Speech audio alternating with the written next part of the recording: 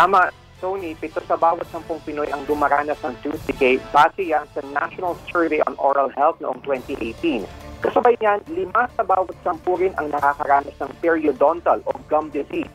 Ayon kay Dr. Manuel Ballesteros ng Department of Health Disease Prevention and Control Bureau, ang problemang ito ay bunsod na rin sa nakagawiang lifestyle ng mga Pinoy na nagdudulot sa pagkasira ng ngipin at ang hindi regular na pagpapacheck up sa dentista.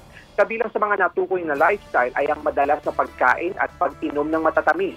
Ang asukal kasi ay nagdudulot ng plaque sa ating mga ngipin, maging ang uh, mga acid no, na kalaunay kumakain sa ating mga enamel o ito yung outer covering ng ating mga ngipin. Sabi nga ni Dr. Ballesteros, ang tooth decay o pagkabulok ng ngipin ay preventable o naiiwasan. Ang isa sa mga paraan para maiwasan ito, nasa mga bahay natin.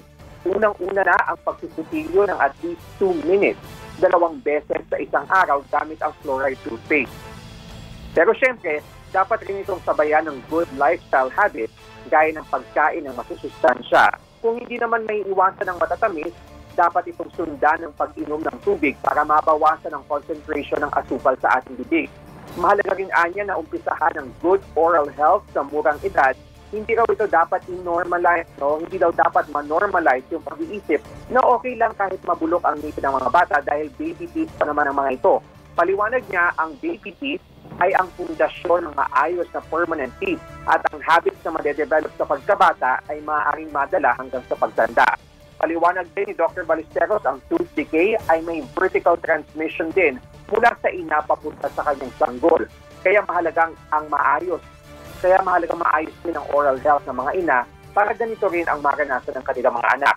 Ayon din sa Philippine Dental Association, hindi naman mahal ang pagpapacheck up sa mga dentista di gaya ng iniisip ng ilan, lalo na kung bibisita ng regular habang wala pang nararamdaman. Madalas kasi nagiging mahal lang ang pagpapadentista pag may malala na ang uh, nararamdaman sa ngipin at ang dilagid, kaya mainam na huwag nang hayaan na ito ay mangyari. Tony. Pinag-uusapan pa lang natin, Rapi, para nangingilo na yung ngipin ko eh. okay. Ang, ang solusyon dyan, ang solusyon dyan, regular na pagpapadentista. Ayun. Kaya salamat, Rafi.